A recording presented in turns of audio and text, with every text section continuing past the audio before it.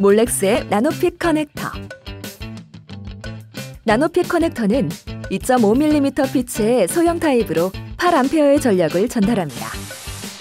이 커넥터는 자동차, 가전, 산업, 의료, 조명 및 통신 네트워킹 어플리케이션에 이상적입니다.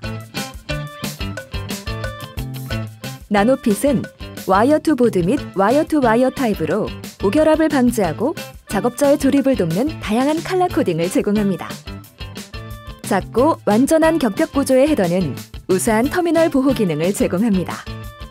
옵션으로 선택 가능한 TPA retainer는 터미널이 틀림없이 하우징의 끝까지 잘 장착되게 하고 터미널 이탈을 방지합니다. Nano-Fit 커넥터의 positive 잠금 latch는 강력한 연결과 전력 흐름을 유지하는 데 도움이 됩니다. 상세 정보는 몰렉스닷컴에서 확인할 수 있습니다.